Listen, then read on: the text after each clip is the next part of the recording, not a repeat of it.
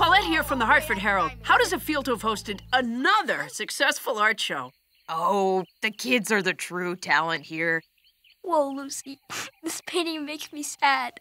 Oh my gosh, thank you. This is beautiful. Did you steal it from a hotel? Hey, Oscar. Hedgehog, check out my painting. Oh. All right, it's time. Get ready.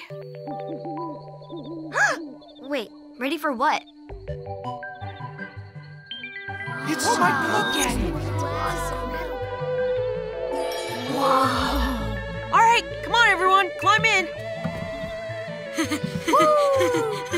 Whoa, whoa, Oh, cool. Uh, Hedgehog? Eh, eh? Yes, of course.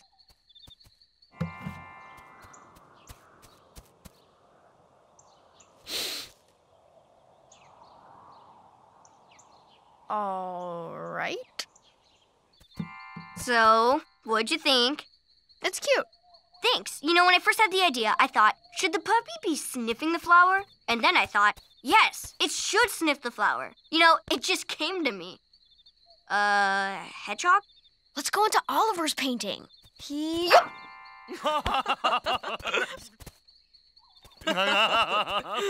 Hmm. So rich. Hey, Max! Don't you want to experience my art? Sure. A puppy. Cool. Yeah, right? You know, when I first had the idea, Uh, I, I gotta check this one out. Later. hmm, well, what's so cool about music and rainbow? Oh my good gracious.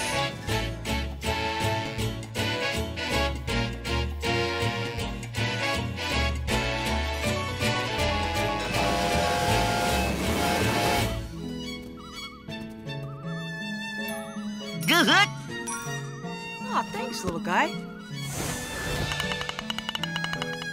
As curator, I shouldn't pick a favorite, but this painting is my favorite. Mwah!